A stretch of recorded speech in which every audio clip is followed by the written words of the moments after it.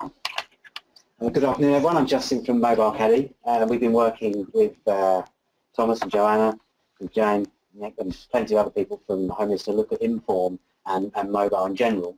So what I'd like to do is start off and give you um, an introduction to, to mobile, um, particularly how it's affecting organisations, so you can start to see some ideas of what other people are doing, uh, and also some of the challenges we face around mobile and the pace of technology, and I think Lawrence was saying with Lightning, of course, things move. So I just want to give you a little bit of an idea around that first, and then we're going to have a look at um, one of your peers at SHIP uh, who have been working uh, on the pilot program to look at some of the basics of InForm Mobile and give you an idea of how far they've got, uh, see the sort of thing they're doing, and hopefully hear what you like or would you like to happen uh, and, and, some feedback from, from yourselves as well. Um, so we'll start off um, Shout, I think there was good some shout outs there. So we're going to cover some ground. So if you've got anything, just shout out as we go. There's only a short uh, session, so we've got to cover two big halves, the sort of why and then what we've done. So if there's anything going through, either hold it to the end, but I'm more than happy just give this a wave and shout out. Definitely interrupt. If you think I'm saying anything that sounds a bit odd, challenge us, because that's exactly what it's about. Um, and lastly, I think there's already been a bit of sharing in the room. You're all on different journeys and different stages of InForm, different stages of mobile, and if I can use the word digital transformation, we're all sort of slowly pushing towards that in different areas. So if you've got things that you think are beneficial, not for this, but for anything in general, I think it's great to, to shout out. Um, so first I get to ask some questions. Um, could I ask for a raise of hands if anyone has Amazon installed as a mobile app on their on their phone? 50%, okay. Um, and keeping up, who has ordered anything from Amazon on their phone? Okay, and last question, did anyone train you how to do that? No. Okay, this is consumer mobile. So consumer mobile, we're going to see is, it's, it's different from enterprise, but it shouldn't be. And so we'll have a look, and that will start to make a bit more sense as we come through, the who's, so who's actually going mobile, the why, and then the how, and hopefully the ship pilot will show you how that's progressing. Um, but we'll start to answer some questions as we go through and see actually there's a net effect on all of us. Um, I have one last question on um, mobile. Just who has um, email on their on their phone? Does everyone email from their phone? Have a look at that. But there is a question about what and what is enterprise mobility. So we have to keep using these words because we run out of words, so enterprise mobility is being used across, uh, across the piece, but we're really thinking about apps on our phone. Um, so what is enterprise mobility? The best way to think about it is the analogy with Salesforce itself. And 16, 17 years ago, uh, Marc Benioff, and Parker Harris and a few others really were frustrated that we couldn't use software in the organization like we did, say, for Amazon. So back in 1999, 2000, we could go on and order online, just like you guys have ordered today on your Amazon app, and yet we go into um, Oracle-based systems or terrible systems that took uh, five, five, or six weeks to learn how to use it, uh, and then it still didn't do what you wanted to do. So uh, Marc's idea and Salesforce's idea generally was around making the browser-based software that we use in organizations as simple as the Amazon.com web, website. But now we're flicking through into mobile. And what we're seeing is that we're really needing the apps to be as easy to use as our Amazon app. So it's no good taking our desktop experience, for example, and just squidging it onto a browser because that just doesn't work. The way we work with mobile is very different. So are we all desk-bound here? I'm generally desk-bound. Uh, so we're all using laptops and we've, we've got a keyboard in front of us. That's how we're working all the time. When we go to mobile, even if that's our normal job, I'll slip out my device I'll do one little job and then I'll slip it back in. My primary job is not the device and yet inside my primary job is, is the laptop or the PC. And so it's not a case of taking what Salesforce did 15, 16 years ago and just transposing it onto the front. And the steps around Lightning is exactly where they're heading on the browser as well because people are now doing, having the little clip of the message down is because we are multitasking all the time. What's this, what's going on? And, and the mobile is very, very different because we're actually doing stuff off the mobile as well as on it. So who's mobile? We'll cover these questions. Who's mobile? It's pretty much everyone, every organisation. The fact that you're all here today means you're moving around. I know plenty of you have staff and volunteers off-site all the time. Um, but even the most desk-bound person, if I'm standing on a train station, I can see everyone is on the mobile. And so this exclusiveness of saying, well, it's just a field worker or just a service worker really is taken away. Um, and also, we're now extending the boundaries through communities as well. You guys obviously have very strong communities. Um, the community piece around Salesforce is very strong and gaining a lot of traction as well. So extending out the digital organization beyond the internal users to the external users and then to the wider community. So it's pretty much everyone. Um, the, the why I always find the most interesting because it's really where we all start our journey from generally around most things. Um, and it is a nirvana, it is this promise of mobile. It, we're going to see, it's not the easiest thing to get to, but it's well worth it. When we look at some of these that we can think that can happen once we have mobile, the fact is that I can gain insight into my customer, into my case, into whatever it is from my device whenever I want it. I'm going to be much more productive. I can collect more data. My device has capabilities such as uh, camera, signature capture, these types of things that we would never do on the desktop. The amount of paperwork processing I can reduce, big bonus. The other thing is I can do data validation as well. So like we do in the browser, instead of having a pen and paper and saying, what's your national insurance number, and then we get it back to the office and think, what the blimey is this number, um, I can validate that on the device. So I'm, my data integrity is also very strong. So this isn't a full list, but it gives you some idea that when you start to think about transposing what we do from pen and paper into business process, we get absolute benefits we do on a platform, but we also get this new piece which is around mobile, which is because the fact I am mobile, I'm face-to-face. -face. And if I can design the UI, the user interface, in such a way that it helps me through the task, I should use the mobile less and spend more time doing the work that you want the field worker to be doing. Um, and that's the whole idea. So there is a question, why are we not doing it today? Um, it is one of those things where we call it the app gap. So it's the difference if we all sat down and said, what would be great for an organization to have in terms of mobile and mobile apps? The simple question then is, why haven't we done that? Um, because there is so much to gain, the question is quite pertinent. And that's really because it's a bit like pre-99 with Salesforce. Um, if we were to go and build, say, InForm uh, or any application, Salesforce application, SFA as it started, um, and we were in 97, 98, we would have had to go and get our own servers, we would have had to get some database administrators, the skill sets would have gone on, and uh, we would need a pretty big check as well, just to get started. Um, so it was very, very hard, and mobile has been, up until this point, very, very similar like that. It's also been very risky. So early adopters, we've all been early adopters in mobile. We've all burnt our fingers and uh, understood that that brings in a lot of risk. Because if it goes wrong, where's the data? So it's a, it's a big, big important piece of this. The other thing about mobile, and actually it's happening in the browser as well, more and more with things like Chrome, Chrome updates all the time. So the browser of choice for most developers and now a lot of business as well.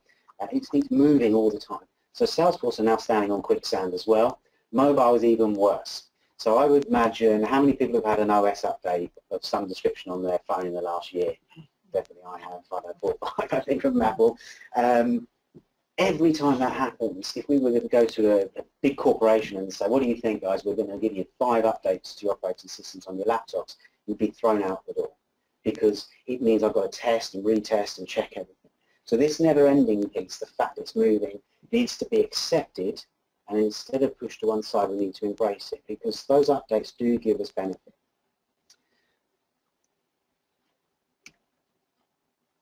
So, question, who is using business applications on their phone or their tablet today?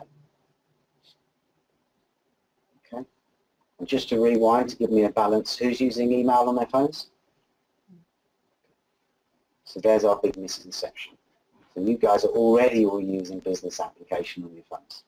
Right? It's just because you see it as a consumer application that you think that's fine. I quickly start an email. If it's draft, I put it in my pocket, I, carry on.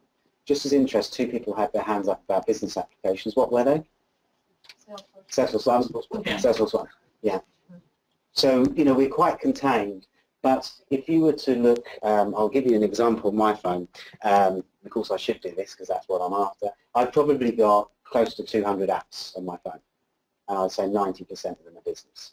I'm oddball, for sure, but I can do everything on here. So the presentation that kindly went wrong for me this morning, I was doing that on the train on the phone on the way up. If I want to process an order, I can do that here.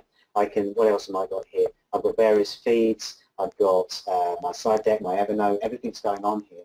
In fact, if I look at my personal side, um, all my banking is now done on my phone. Does anyone else do banking on their phone? Yeah. And is it because it's easier? It is for me. When we're running a payroll and I'm a bit tight, I can actually run my payroll while I'm going to the train. And so it's a, it's, it's a perception issue about the application, not what we want to do with it. So we already know what we want to do with it. It's just, is it business as a consumer? And what I'm hoping to show you today really is that you've already broken through the breach. You are using business applications all the time. They're just not good enough. And that's because of the three things that we saw back there. So what are organizations doing? Um, there is a big uptake usage of Salesforce One. And Salesforce One to take standard process and put it on your phone is definitely a, a valuable thing to have. When you get to mobile, though, we need to think about custom process because that fact is I don't want to take, let's say I'm doing a, a, an interview of some sort with someone in a room, I don't want to take 10, 15 minutes to do that. I need to take a few seconds to do that and interact with the client or whoever I'm doing. Um, but organizations are taking this and running with it now. And some of these screenshots we've got down here just show you these are all Salesforce applications. They just don't look like Salesforce. And you'll see the progression with Lightning. It will be three, four, five years, but all our Salesforces will look different because that's where Salesforce are going. It's all about the UI and the UX now. That's the split between Lightning. So there's a bigger play going on here. Um, but the UI, the experience, is now becoming a key differentiator. I'll give you an easy uh, example for us to look at which is if I'm going to hail a cab and I've got a choice between Uber and um, hail me in London? Hail, Hailo, it's not Hailo, that's right. Um, is there any difference to the car that's going to pick me up? Probably not. Is there any difference to the driver? Probably not. My experience is all going to be around how I use the application. If I can get that cab in 20 seconds versus two minutes, I'm going to use that application. And it's exactly the same for business applications. And that's really, really important, but, but unfortunately generally left to the side because the capability has been so hard to achieve. So got a couple of case studies like to just quickly talk through, just to give you an example of what non-profits are doing. Um, but non-profits and commercial are very, very similar in this space. We've all got the same challenges. So we could take a commercial uh, case study as well as a non-profit and it would be very similar pain points and challenges. So the one that uh, when I first met Joan we were talking about was a company called Sanergy, um, which are an African charity, but I'm going to talk to you today first about one called um, Eco Energy, just to give you a feel of what can happen to an organisation when they embrace the mobile side. They sell solar panels in Pakistan. Um, what they do is they take the amount of electricity the owner of the property is already using, they do some fancy calculation, work out the, the solar power input required, and then do a microfinancing around. The actual solar panels they've got grants for, they've done all that work. What they're finding very difficult is to train the locals to be able to say, how do you calculate the consumption of a solar panel? I can't do it either. So it's, you know, it's one of those things. Now, if you're going to scale this out, these guys and girls on the ground, they know the local population, they're part of that, they're the best people to use, but their problem is how do they get that skill set out in the field and how do they validate that's happening?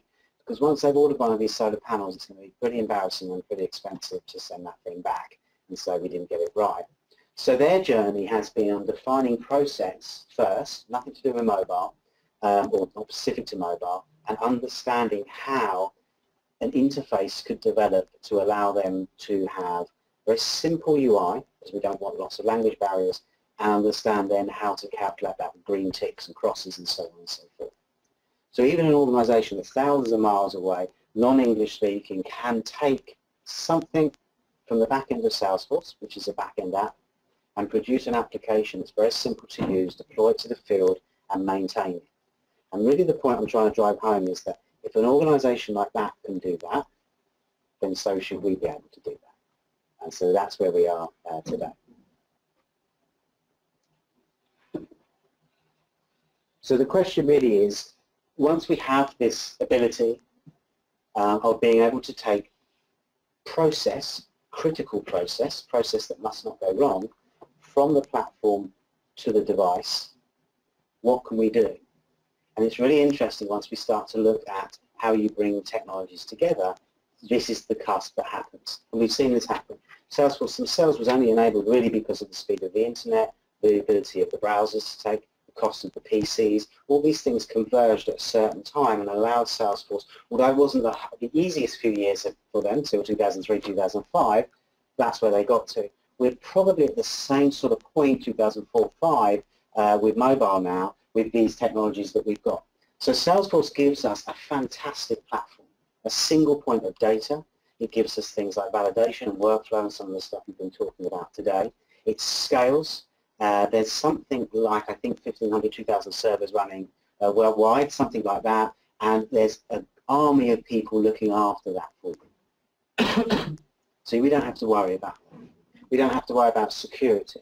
We, we've even got mirroring across Atlantic, well, that doesn't always help, uh, which is coming to Europe. We've got all these things that would cost a fortune. We've then got MobileCaddy, which was developed to really extend the platform out onto mobile devices, iOS and Android, keep up with the changing pace of technology to make sure that nothing goes wrong.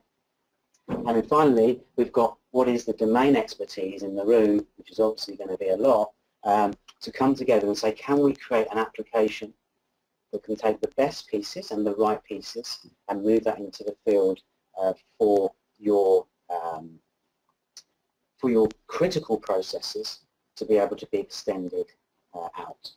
And I think we to get to the demo. Yeah, brilliant. Um, we're going to, uh, definitely not show any smoke and mirrors, but for the sake of the, the guys on the line, we're going to use an emulator uh, to show you the application. But I've also got the application running here on an iPad, on uh, an Android device here, uh, and I think, uh, Jamie, you've got a couple running at the back as well. So if you, if you want to have a look afterwards, we can't show the webinar that, but we'll be able to do the emulator in a second. Um, and so the journey really began from a non-profit meetup a couple of years ago, mm. and we started to say, look, we know everyone's going to go mobile. What should we do? And it took us a little while to find a, a, good case study to use, um, a, a, good organisation in the sense that they were young, starting with InForm, small enough, nimble enough to have, have, a, have a crack with us. Question? Yes. Um, so this is offline on, on the on the mobile? Absolutely. What happens if somebody else, either centrally or wherever, wants to do something with this customer's data at the same time as it's offline? It's a good question. So conflict resolution, which is really that fancy word that sums all that up, is saying if I have data that resides here and here, how do I handle that? Uh, and offline is a big problem initially when you approach that because you have to make some choices. Um, one of the lucky things I was saying is that we're sort of at 2004, 2005 and the sort of Salesforce same sort of idea is that most of these um, choices have already been made and now there's systems that handle it. So for example, uh, this application that we wrote here says it's the last change to the record that becomes the final record. So let me give you an example. If I'm on the platform and I'm working with myself, the record Justin, and someone else is in the field working with record Justin, and someone changes me this nickname and this nickname, so we change exactly the same field, I'm offline. This system mod stamp of, say, uh, 10 o'clock Tuesday will be respected if this was 10 o'clock Wednesday, even if my sync will happen two days later. That's by field. By field level, absolutely. So you can go record or field level. You can also uh, protect around certain fields. So for example, um, you can have only the device um, data always win or the platform data always win.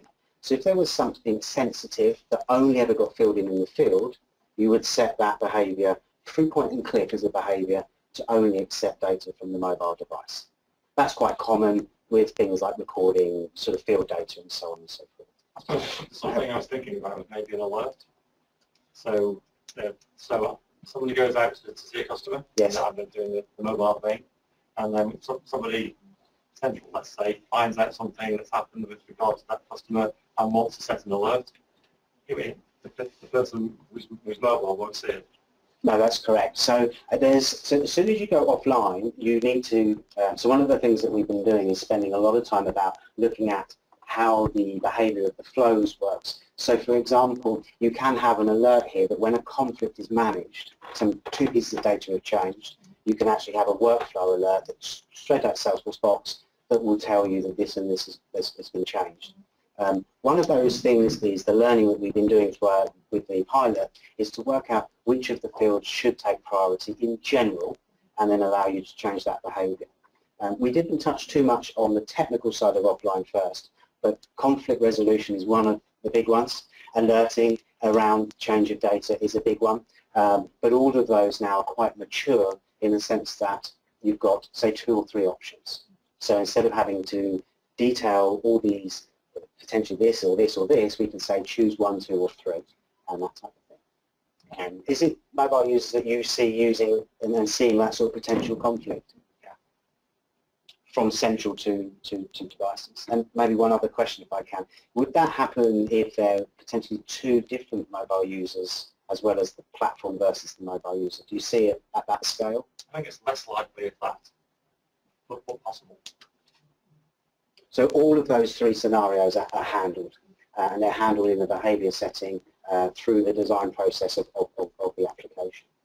I think the critical point there was that if you, if someone, if we have a, a if we have an alert on a record, Yes, that all workers working with our client need to be aware of as soon as possible after it's created. It's like that idea of whether those alerts get pushed through to the mobile, if so, which they won't if they're off- offline. So it's a question of how frequently the mobile data can synchronize back with the The back end.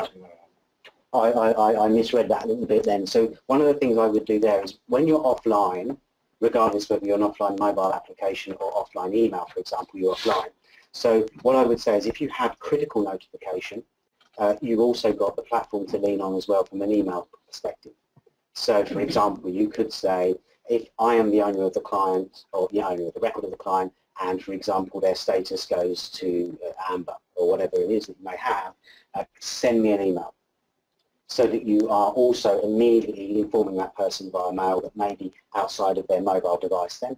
Um, particularly around if you've only got, and this is a question for all of uh, mobile users regardless whether we're talking about this application or any application, is whether the device is uh, 3G or Wi-Fi only. And that's a big choice that we have to make um, and unfortunately it comes down to cost in a lot of instances. So with the phone, um, we take it for granted that 99% of the time I'm going to be connected. So if, if I'm running this application as I have here, I can run this application right now on this device uh, and see uh, what I see offline. Um, but I know that probably as I walk out the door, I'm going to pick up my 3G connection and I'll be back to where I was and my sync all works in. If I go to this device, which is Wi-Fi only, it's now much more a user interaction to make sure I've connected.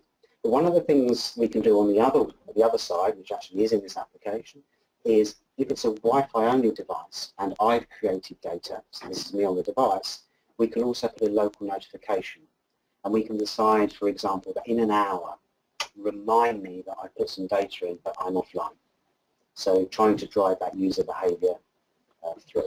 In fact, we'll probably hear this one pinging in a minute when I put some data in. Um, but yeah, the general idea then is capture of data, reading of data offline, logic. Uh, we didn't see that there, but what we can do here is we can take a client and we can choose a timeline event, maybe a multiple uh, list of timeline events.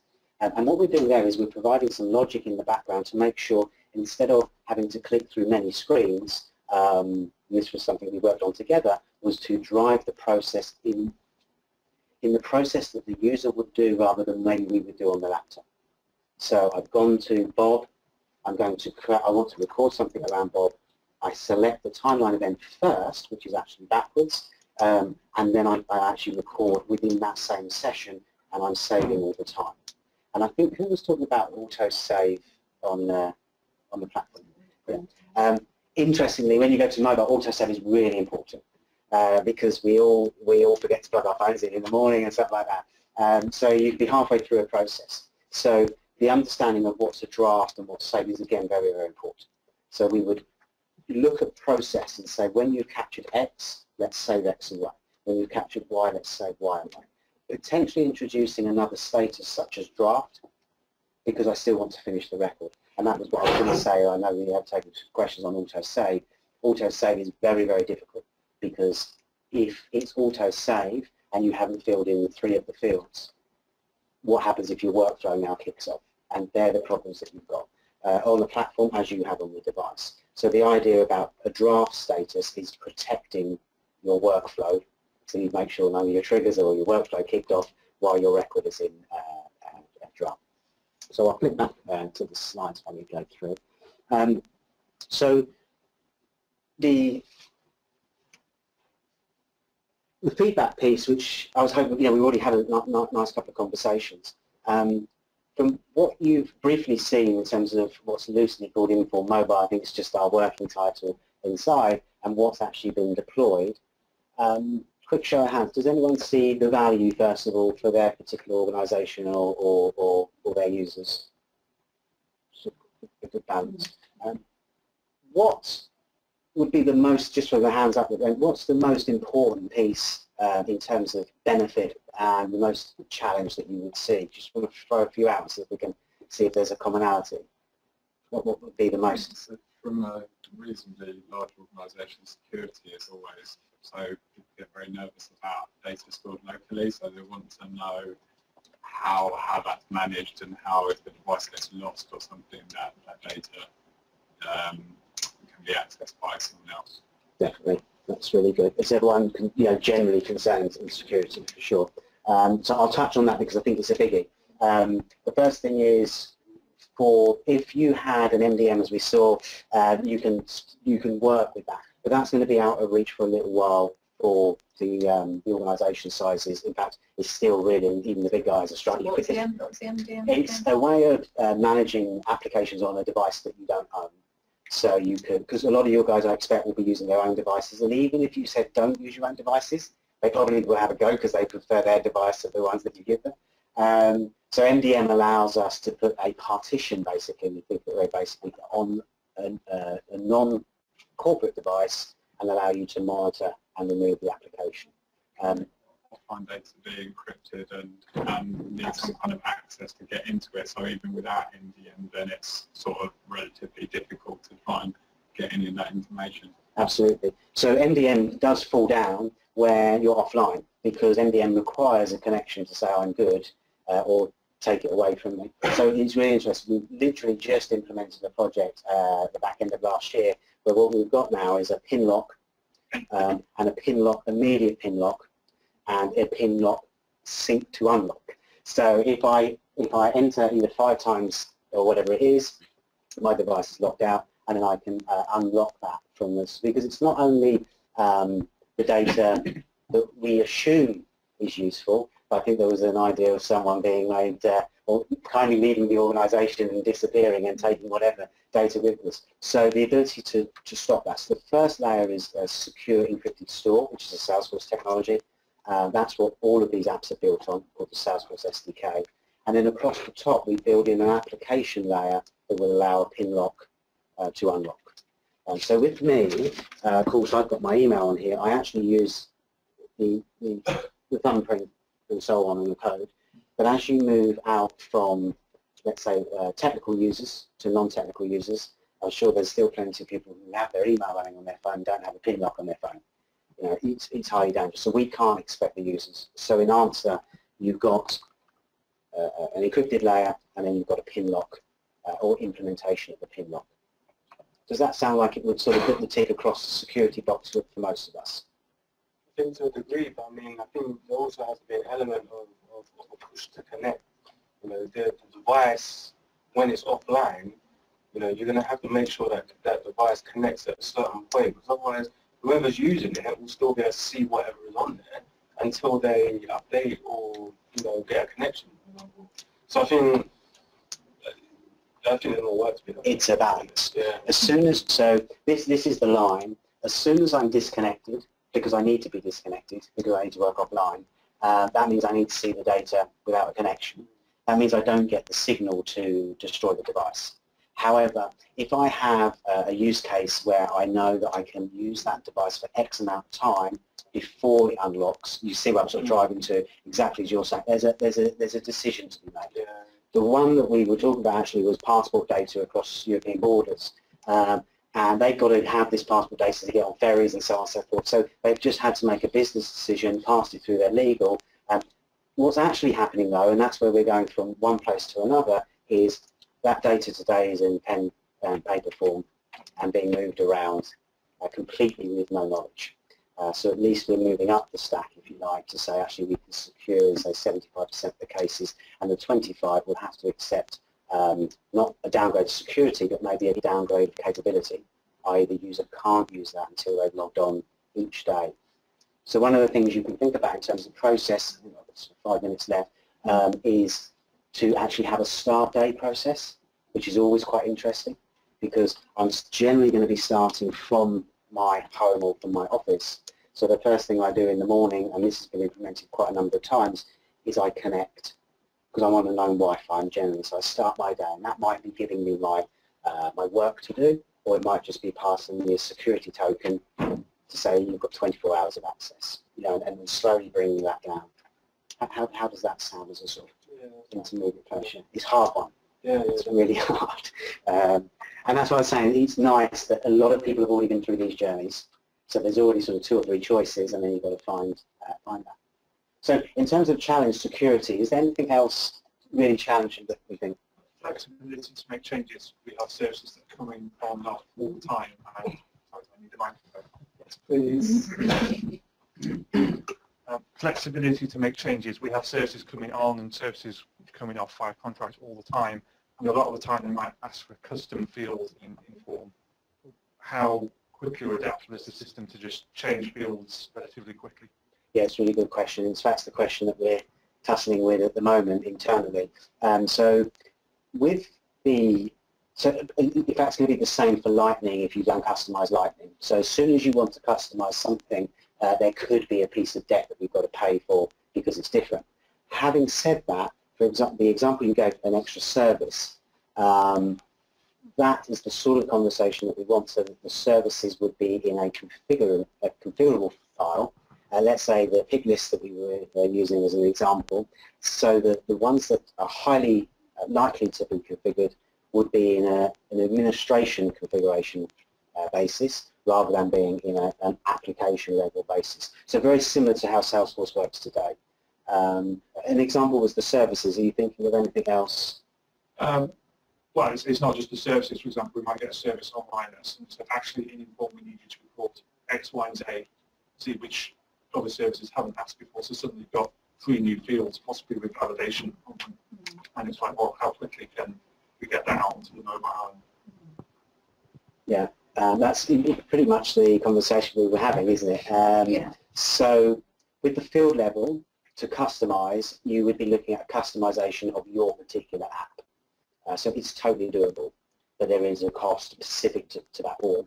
Um, we didn't look in detail, we call the app gap, I, I mentioned this, this, this, this gap. One of the gaps is accessibility. Um, so capability-wise, you know, there's big ticks now, things can be done, the offline security piece, they're all coming up to a level where we feel very comfortable and large organisations are now using them. The accessibility piece is where we're working very hard to keep bringing down um, the, the, the costs, not just monetary costs, but maybe the time costs and so on, so that these changes can be done. We're not quite at parity in the sense of Salesforce's ease of change for point and click, but it's quite close now. So we would say, hey, uh, InForm admins or your internal team, can we have X field and X field added?